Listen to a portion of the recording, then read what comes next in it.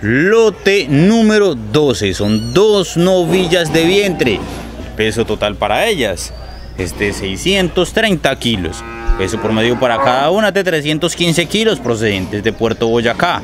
La base es de 6.500 pesos por kilo.